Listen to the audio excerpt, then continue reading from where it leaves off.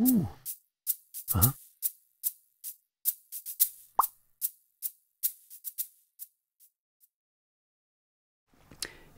In comparison to a live event, the reading of a book is, is monodimensional.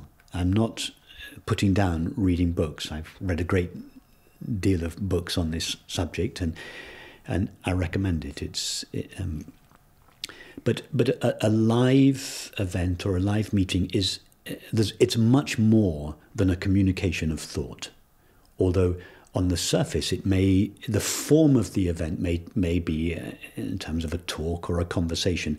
It's an energetic communication as well as a verbal or mental communication. So it's it's multi-layered, multi-dimensional compared to simply reading.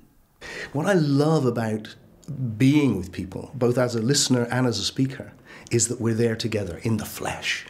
And there's something about the immediacy of that because, because we really are all one behind the scenes.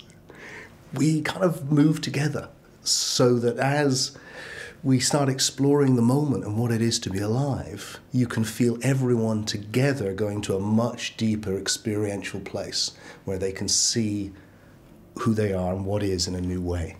And that happens with live events more than anything else there can be delightful moments sitting at home watching somebody on YouTube or you know reading our favourite author or whatsoever. This can be an absolute delight, but it has a very different feel to a gathering of um, of people, and to maybe use an overused word. You know, there is a synergy about a group.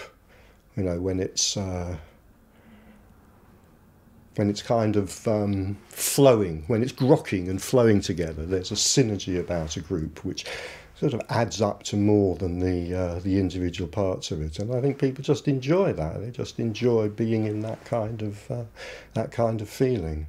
Uh, if it's a, a, a truly uncompromisingly non-dual communication in a meeting with people, then yes, the words are quite important and the concepts of exchange of concepts are quite important. But then, then they're really only an excuse for something else to happen, which is beyond words.